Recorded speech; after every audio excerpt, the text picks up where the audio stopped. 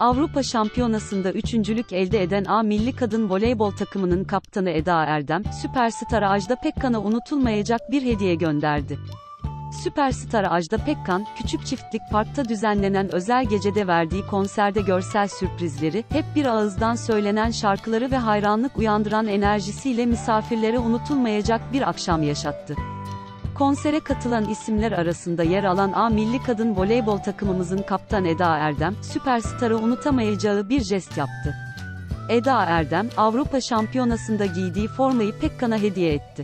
Kuliste formayı yetkililerden teslim alan süperstar, takım kaptanına teşekkürlerini iletti.